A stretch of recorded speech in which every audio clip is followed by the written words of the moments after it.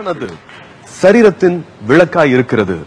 உன் கண் தெளிவாய் இருந்தால் உன் சரீரம் முழுவதும் வெளிச்சமாயிருக்கும்னு பைபிள்ல ஒரு அழகான வசனம் இருக்கு. தப்பு ஆரம்பிக்கிற இடம் கண்கள்னு சொல்லலாம். மனுஷனோட உணர்வுகளை பிரதிபலிக்கிற கண்ணடியா கண்கள் இருக்கும்.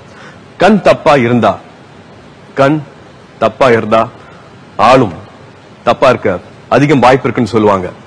ஈடிசிங் மாதிரியான பெண்களுக்கு எதிரான குற்றங்கள். கண்ல இருந்து ஆரம்பிக்குது.